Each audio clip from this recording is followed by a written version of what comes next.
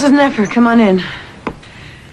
This is kind of unusual, isn't it? Mm, ordinarily, we'd have this meeting at school, but under the circumstances, I thought we'd be more comfortable here.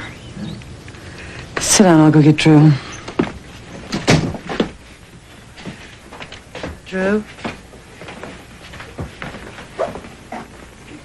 Do I get to graduate?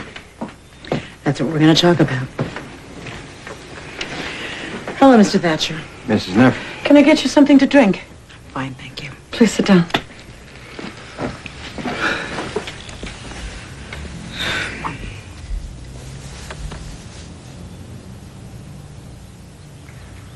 How did it go at the school board?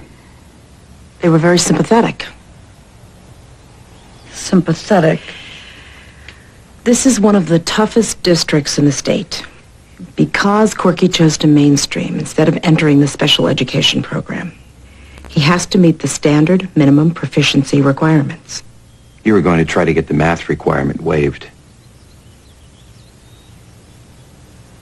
They wouldn't agree to it. I'm sorry, Corky. I don't get to graduate? No, I'm afraid not.